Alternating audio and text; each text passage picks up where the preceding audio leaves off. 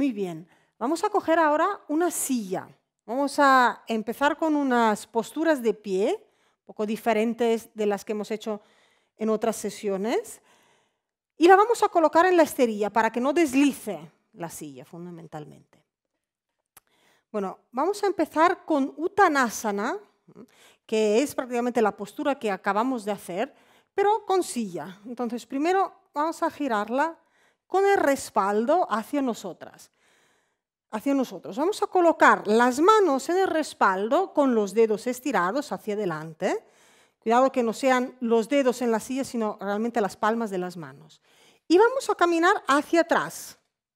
Vamos a doblar aquí Vamos a caminar hacia atrás para llevar los pies paralelos, mínimo a distancia de caderas.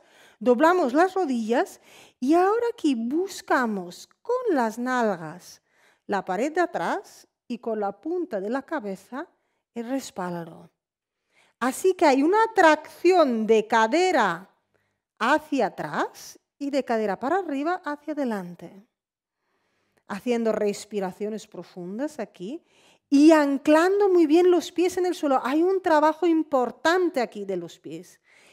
Igual que antes en Adho Mukha Svanasana, en el perro boca abajo, os dije que la prioridad es la espalda, también aquí. No quiero que estiremos piernas y redondeemos la columna. Para eso es mucho mejor trabajar con rodillas dobladas y alargar, especialmente si tenemos molestias en la parte baja de la espalda.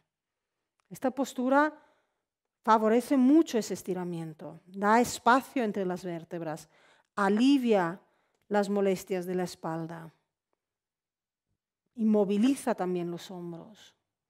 Para salir de la postura, doblamos un poquito más rodillas, miramos hacia adelante y vamos caminando hacia la silla.